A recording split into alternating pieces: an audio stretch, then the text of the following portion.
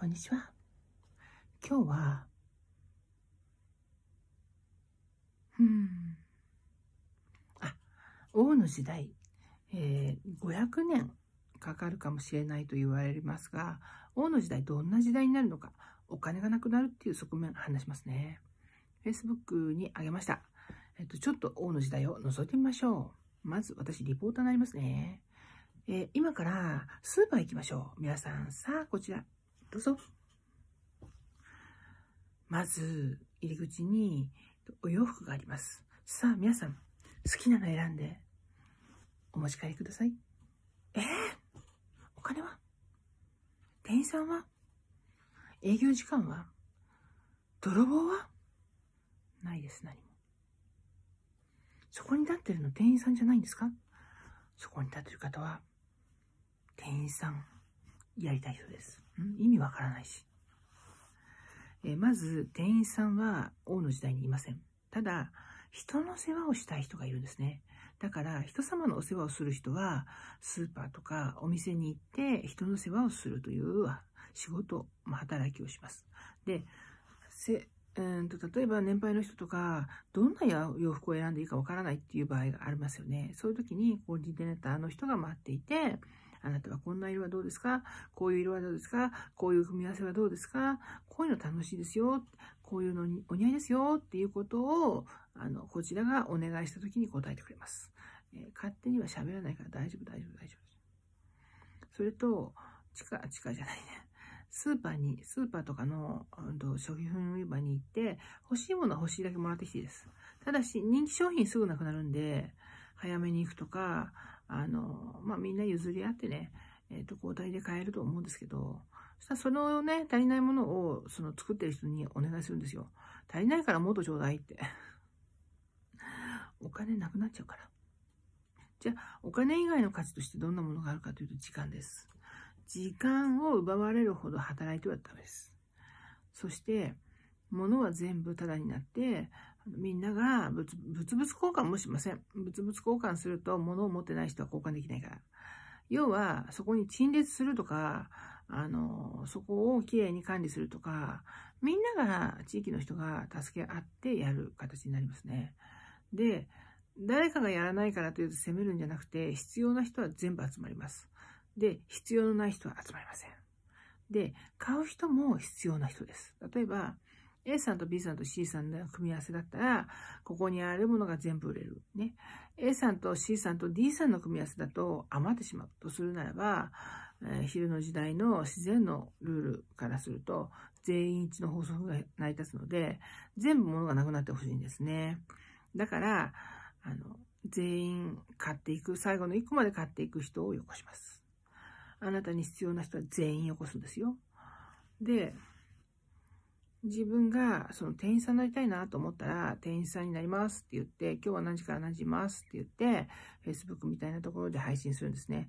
えー、なんとかは今日どこどこのお店でお洋服のあのフィッティング、えー、見立てをしますので、ご興味のある方はいらしてくださいねっていう書き込みをすると、あ、なんとかさんが来てるんだったら洋服買いに行こうかなとか、買いにじゃない、洋服見に行こうかなとか、えっと、誰々がいるから、その洋服の話をしたいから行こうかなとか、例えば小物を作るのが大好きな人がいて、わざわざ家で作らないで、その現地に材料持ってて、店番がてら、あの、物を作って売るじゃないね、渡すとか、えっ、と、持っていく人たち、その自分が作ったものを持っていくのが、嬉しそう、幸せそう、それを見たいっていう場合に、お店の店員さんに扮して、きっと、あの、手作り商品売ってると思う、うーんと、並べてると思うんですね。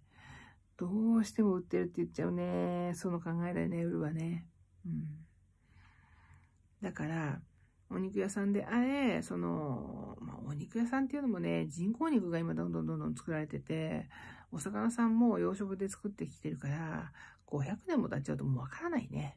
カプセルかもしれないし。でも、食べる楽しみっていうのは、やばい。食べる方に入ってしまった。あの、根本的に、うーん、体にとって必要なことでありながら、趣味でありながら、癒しでありながら、いろんな側面を持ってます。食べるということは、ちょっと他のものとは違いますね。で、欲しいものは全て、えっと、もらって帰って構わない時代です。で、家も、あの、好きなところに住んでいいし、誰がダメとか何がダメとか誰のものとかいうこともなくなっていくそうです。国のものになるのか誰のものでもなくなるのかわからないですけどね。まあ、防犯とかはね、自分であのきちんとしたらいいと思うんですけど、あの誰か見ず知らずの人と一緒に住むってことも発生するかもしれません。